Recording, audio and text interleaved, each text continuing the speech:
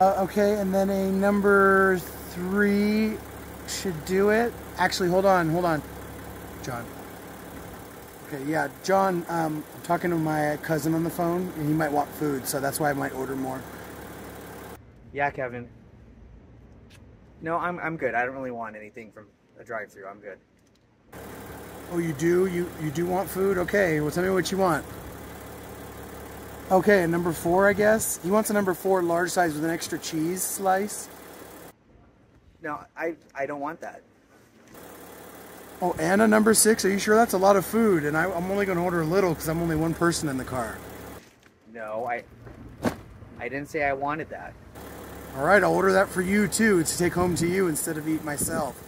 Um, okay, perfect. A number six. Okay.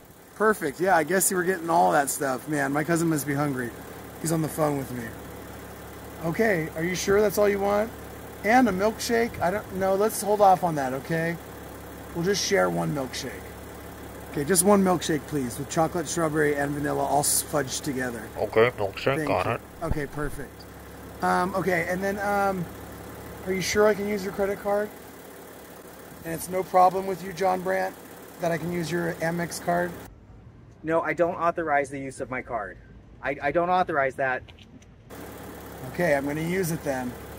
You gave authorization, so I'll use it.